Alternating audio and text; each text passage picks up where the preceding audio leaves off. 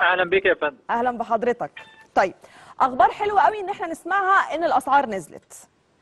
وأخبار حلوة قوي إن إحنا عايزين إنه إنه في جميع الأسواق في جميع المناطق تبقى الأسعار واحدة أسعار موحدة. ولكن إحنا عايزين نعرف ده هيكون مسؤولية مين إن الأسعار تكون موحدة. اتفضل يا فندم.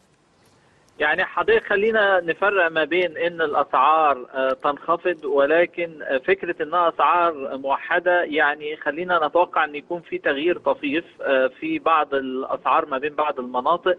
يعني على سبيل المثال الأسعار في المدن والعواصم الكبرى مثل القاهرة ممكن تكون آه، منخفضة نسبيا آه، أكثر شوية من ال- المحافظات الحدودية لأنه زي ما حضرتك عارفة بيكون في تكلفة نقل. لكن طبعا الفرق بيكون فرق طفيف جدا بيعكس تكلفة النقل. لكن ال- النقطة المهمة هي أنه الأسعار سواء في القاهرة أو كافة محافظات الجمهورية سواء انخفضت بنسبة كبيرة السلع الأساسية انخفضت بحوالي 27% الأسعار آه، كافة السلع آه، بصفة عامة انخفضت حوالي 22% إزاي نضمن إنه الأسعار تظل منخفضة حتى لو في فرق طفيف آه، ما بين أسعار السلع في المحافظات ال- الرئيسية والمحافظات الحدودية هو عن طريق آليات الرقابة. آليات الرقابة موجودة في مجلس الوزراء من خلال الدور المتابعة اللي بيقوم به مركز المعلومات ودعم اتخاذ القرار. هناك أيضا آليات آه، جهات رقابية زي جهاز حماية المستهلك وزارة التموين وزارة الداخلية إلى جانب الدور الرقابي للمواطن من خلال التطبيق الإلكتروني اللي أنشأه مركز المعلومات ودعم اتخاذ القرار اللي نعم. هو آه، اسمه آه، رادار الأسعار واللي قام بتحميله حتى الآن حوالي 21 آه، ألف مواطن وبيستطيع المواطن من خلاله الإبلاغ عن أي مخالفات في أسعار السلع. طيب إيه أهم ال ال ال ال ال النقاط اللي اللي اتكلمتوا فيها النهارده آه، في المؤتمر؟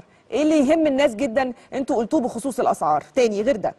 أهم حاجة آه، قلناها خلال المؤتمر الصحفي هو إنه ال- يعني آه، أوضحنا إنه آه، مبدئيا الغب- الخبز السياحي آه، تم الاتفاق على الأسعار آه، تخفيض الأسعار بدءا من إن شاء الله من يوم الأحد المقبل آه. آه، مع- معالي وزير التموين سيصدر قرار بالأسعار الجديدة وسيبدأ تطبيقها إن شاء الله بدءا من يوم الأحد مم. الأسعار بتعكس انخفاض في الأحجام المختلفة للخبز بحوالي بتتراوح ما بين 30 إلى 40% مم. آه، في نقطة مهمة تانية مرتبطة بتأكيد دولة رئيس الوزراء أنه الدولة ستتابع خفض الأسعار آه، أسعار الجملة في الحقيقة انخفضت بصورة أكبر من أسعار التجزئة بنسب تتراوح من 30 ل 40% وبالتالي هذا الأمر سينعكس خلال الفترة المقبلة على مزيد من انخفاض أسعار التجزئة السلع آه، لدى محلات التجزئة وإن شاء الله يعني آه، الانخفاضات